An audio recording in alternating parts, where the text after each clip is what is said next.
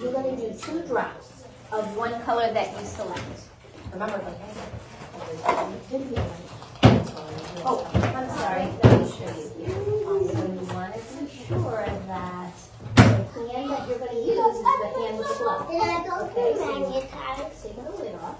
And you squirt directly into the funnel opening. Can everybody see that? Okay, that's good. That's good, just two drops. Okay, let me, um, before you, let me turn get it the back colors, so let we me everything just help Aria. Okay, Okay, are we ready? Okay, Aria. Good. So one hand hold the funnel, the other hold the bottle. Okay, is your funnel sturdy? Hold it You holding tight. it? Hold it tight.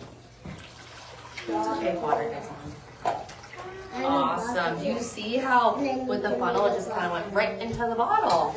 Isn't that a cool tool? One color at a time, okay? Remember, the hand with the glove should be holding the color, okay? And you have to be careful because you don't want to get it on your pretty dress. So let forward.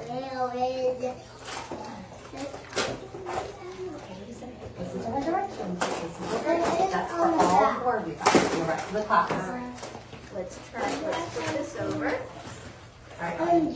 That's enough color for right now, okay? Apple G. Do you want Ellie to start adding? Apple G. Yes, let me clean this up here. It's good. We'll clean up. How we open this? How do we open this? This is the top. Then you attach. And then you take your funnel and then and take the funnel out nice. And then pour it. Awesome. Start by selecting your treasure. Do you want to mix it? Remember, it's your take bottle. off your gloves now, So what colors do you want? You can take off your glove now to help you with the treasure. Be careful with the bottle, okay? Ellie, are you here, Miss Melissa? What did she just say? What do you need to do with your gloves? You're done with your glove. What do you need to do? Sure. Well, the first thing we need is So my friends, keep in mind the bottles. There's water in Take here. moment and wash your So take your time with it. Nice job, Aria. I want to mix it. That, I like Aria how you're taking your time on it. Well, other color, one more color, Aria. What's the next color you want? Right, are you holding the funnel tightly? Put in.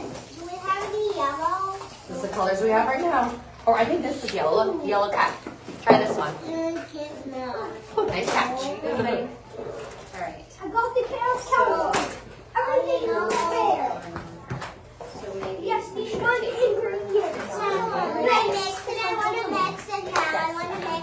All right, so now are they all closed?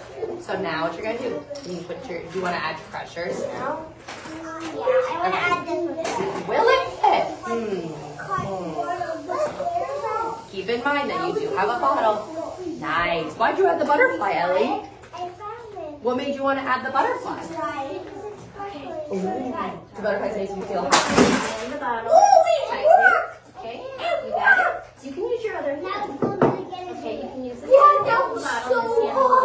Maybe,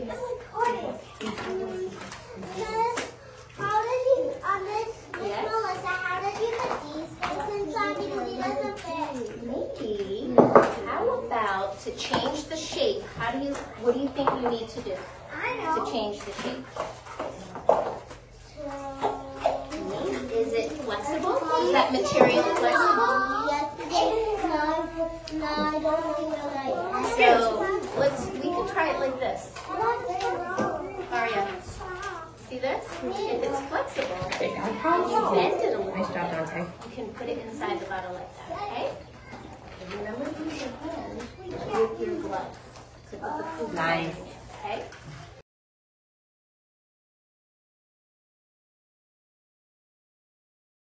You, Ellie? Um, it's okay if you choose something different.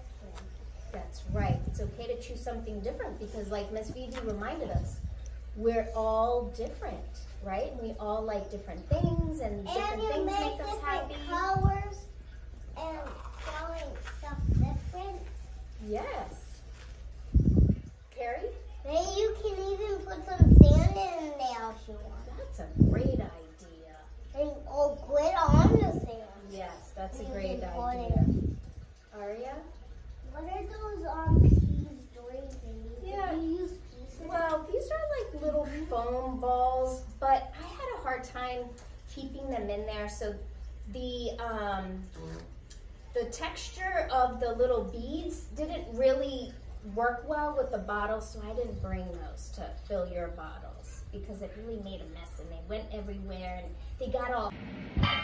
In the Chadwick's classroom, Miss Vivi always reminds her students about everyone is unique and the importance of understanding one's feelings and emotions. We know that in a preschool setting, we have a lot of big feelings going on every day, all day. So, in the Chadwick's classroom, we introduced um, a story to the children called Born to Stand Out by Nikki Rogers. I read to the students the read aloud of the story, and what I liked most about um, my experience there was engaging the children. Because they already were introduced to the story in the beginning of the year, I took it a little step further and I really had the children interact with the story.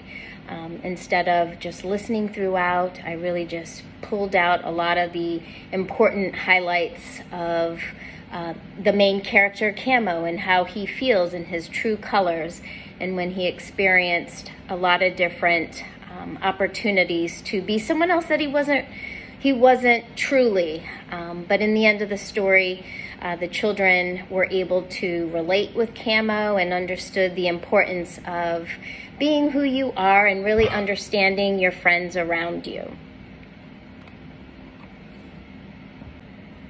we talked about different big feelings like feeling angry or sad or not being a part of a group. So we really touched on um, the differences of how that made us feel, and you know, some days are better than others, and some friends handle their frustrations or their their sad feelings in a different manner. And we talked about the importance of just being mindful of how we're feeling and communicating with our friends and also the teachers.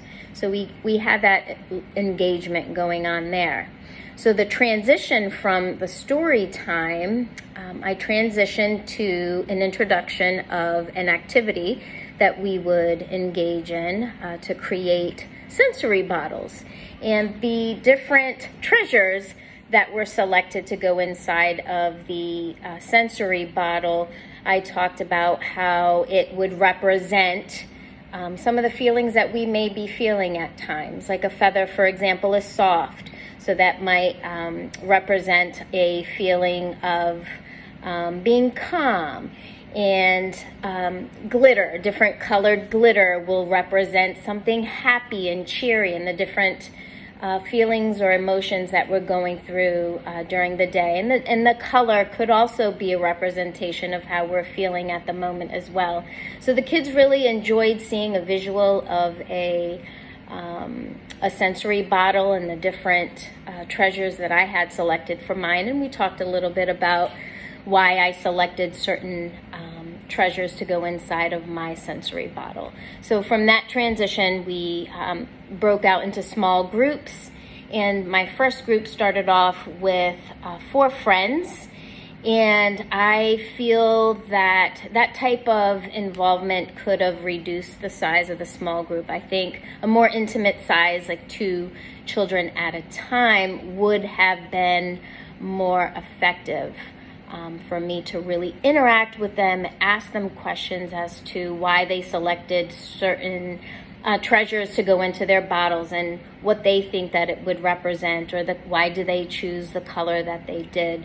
Um, so I find myself a little bit more um, um not engaged you know, um, on an individual level with each of the student. However, I did try my best to interact as much as I could in addition to assisting those students who needed help.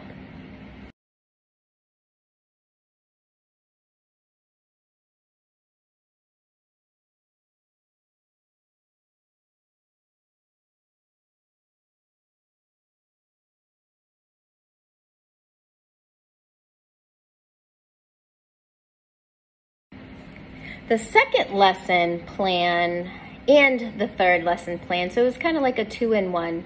Uh, we created a paper hat and a paper map.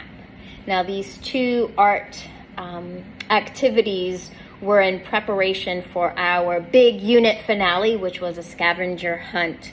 So we wanted to get into character, and it was an inspiration um, by Nate the Great. So the students started the year reading chapter stories um, by Nate the Great. So they got to understand what an investigator is. And prior to um, starting off the hat and paper map craft, we talked about Nate the Great and uh, remembered some of the different investigation um, opportunities that Nate the Great had, and we created a T chart about characteristics of Nate the Great and an investigator. So the engagement there for the children got them to um, really interact with one another and answering questions and just um, participating in that sense. So we again broke out into small groups, about three, sometimes four children at a time. And you could really tell the difference between the um, uh, levels of each students. Some were new to paper folding, so that was a cool experience for me to to see how well the children could be attentive to follow instructions. I um, my focus was to work with the kids one step at a time, really slowly. Some some students got it a lot quicker and were able to do it on their own, versus others needed a little bit more hands-on um, with the student teacher.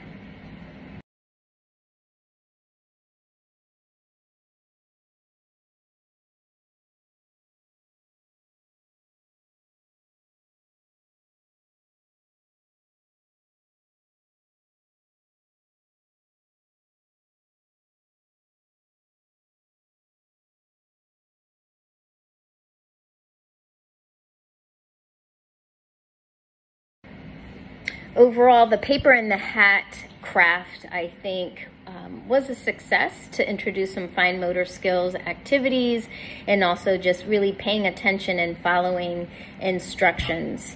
I think if I were to do the same activity or something similar, I would um, pre-print out the sequential instructions so the kids could also have a visual of what should be done. I think that that would uh, be considered like a scaffolding learning process for them, um, just to um, encourage that independent um, activity as they're looking at the visual instruction cards that they could attempt to do that on their own.